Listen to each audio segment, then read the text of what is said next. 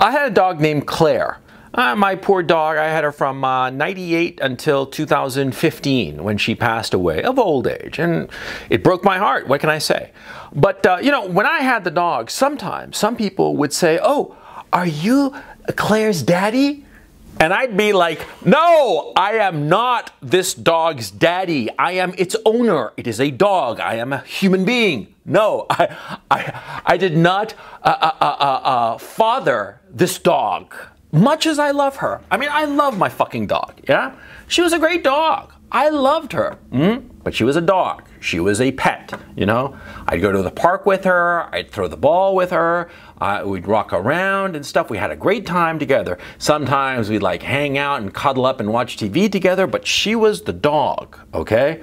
I love my dog, but she was the dog, not my child. But see, a lot of women make this confusion. A lot of women, yeah? They, they are the mommy of their dog. Now, what the hell you think is happening, huh? I'll, give you three guesses, but you're only going to need one. Yeah, the dog is a child substitute, of course, but not always. That's the interesting thing. It's not always that the dog is a child substitute. See, you run into some woman who's got like a, like a little chihuahua or one of those little rat-like dogs. I, I don't know the names of them. I don't care to know the names of them because I'm never going to own such a dog. You know, if I wanted to own a rat as a pet, I'd get a rat, not a yapping rat, which is even more annoying. You know what I'm saying? But anyway, the women who own such dogs, huh, those are child substitutes. I mean, notice they, they spend all kinds of money on the dog, you know, with the little outfits and crap, just as the, as if the child, uh, the dog, the Chihuahua, were a child. Yeah, and and they put it in, in like little uh, little purses and such. And and uh, what do they call them? There's a great saying. Uh, they they're called purse puppies. Yeah. They're child substitutes, and that's pretty obvious. And it's usually extremely selfish women who are just going around riding their cock carousel and having a great old time, right? Before they hit the wall, inevitably, of course. But anyway, they're riding the cock carousel. They don't have time for a kid, you know. I mean, they've got the time for the abortion, but not the kid, right? But so they get the chihuahua to assuage these maternal instincts that they have, and they walk around in their high heels and all made up, with their hair all perfect, and you know, with a little purse with a little dog in it. Yeah, that's a child substitute. But what about the women with those really big dogs? Oh, yeah, you know what I'm talking about. Notice, women who own dogs, they don't own like the in-between dogs. No, no, no. they own either like little chihuahuas and little rat-like dogs, or they own those really big dogs. Why do you think that is, huh? What do you think is going on there, huh? Huh? It's a weird sex thing. That's that's it. That's what's going on, okay?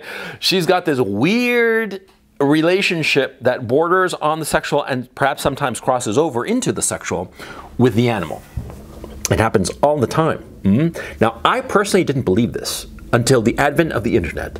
I mean, the internet, boy oh boy, does it teach you stuff. When I first heard this notion that there were a lot of women who would uh, go into sexual play with their pets, with their dogs. I heard this back in the 90s. I thought, this is a lie. They're just pulling my chain, you know? No way are women like uh, performing fellatio on a dog for crying out loud. No way are they letting a dog, you know, uh, give them cunnilingus. No possible way. This is not possible. And of course, you know, the internet, the internet arrived, and uh, you know, with its arrival, we discovered all kinds of perversions.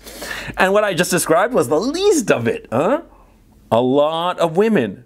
I'm not saying all of them, but a lot of them. Certainly a majority of them who own big dogs. They use the big dog as a man substitute. Yeah. Yeah, the bigger the better. Because, see, women instinctively like that sense that a man is bigger than them and overpowers them. And, you know, a big dog, uh, a big old St. Bernard or whatever, huh? Uh, those dogs can easily tip the scales at uh, 170, 180, 200. No, no problem at all. You know, those dogs are big. I mean, you ever seen one? They're huge. So anyway, um, you know, the, the, these women, they get these big dogs, and they might not even realize it but they want that big dog because they want to be physically overwhelmed. But at the same time, they're able to control the dog because it's a dog, okay? And dogs are very easy to condition to obey you and do exactly what you want it to do uh, from a young age. I mean, if you're consistent in your teaching the dog, right? The dog will do exactly what you want, just one, one command word and you're set, okay? And so that's what women do. Women uh, uh, they get these dogs as little puppies and condition them. And so they can control the dog, but at the same time feel of being overwhelmed. I mean, it's really perverse if you think about it. I mean, come on, yeah? Like I said, is it all women who have a big dog? No, not all women who have a big dog are having sex with that big dog. But chances are they are. Simple as that, okay? you, you got to understand the dynamic. Mm-hmm. Because you see, these women who have these big dogs, they fundamentally are attracted to men, but they're afraid of them. Mm-hmm. Because men, of course, being sentient human beings, are, are not easily controlled. I mean, they're controllable, but they're not always controllable. Huh?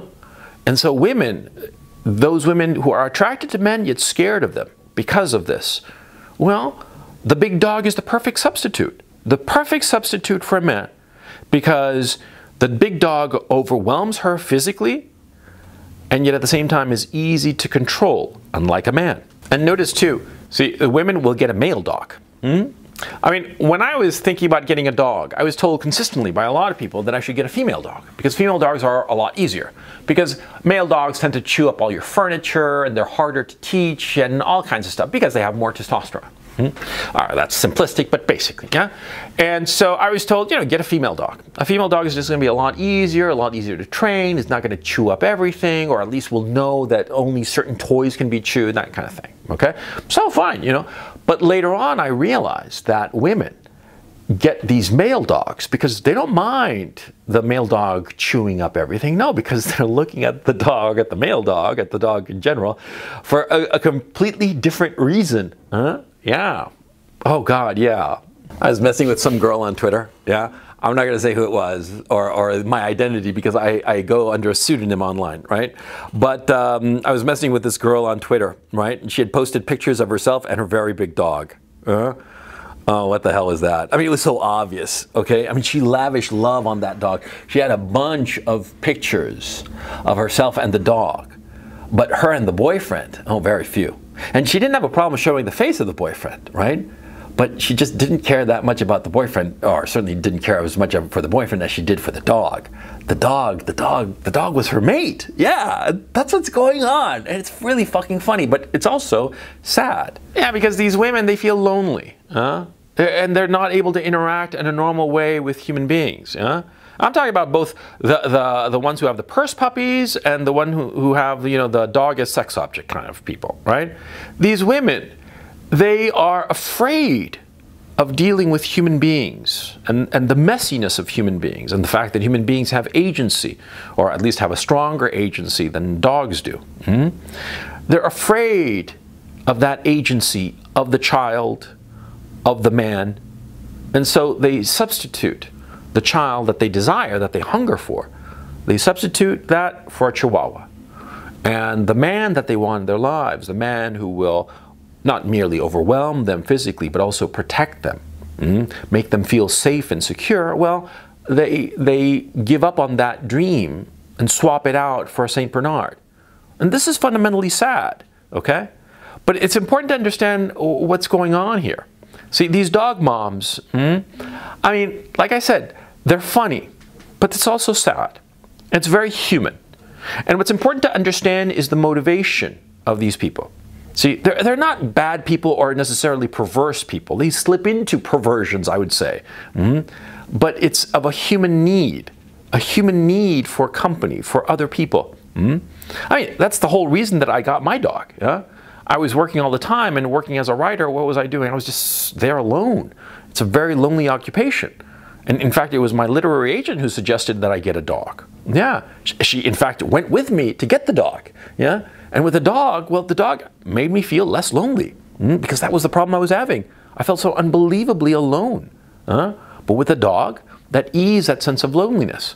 And, you know, three, four, five times a day. I'd have to go out with her for at least a half hour so she'd do her business and get some air and walk around and it was good for the dog and also good for me. See?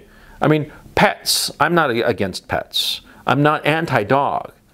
I'm just saying you should know why somebody has a pet and what they are doing with that pet behind closed doors.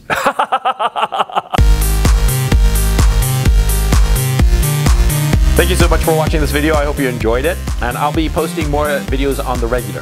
Uh, in the meantime, please check out my Patreon. Link is in the description below. There, I have been religious in posting one new video every week and one weekly webinar every Sunday. It's a call in show. I take questions and comments and critiques from listeners who are members, of course. So please go check it out. Like I said, link is in the description below. Thanks very much, and I will catch you next time.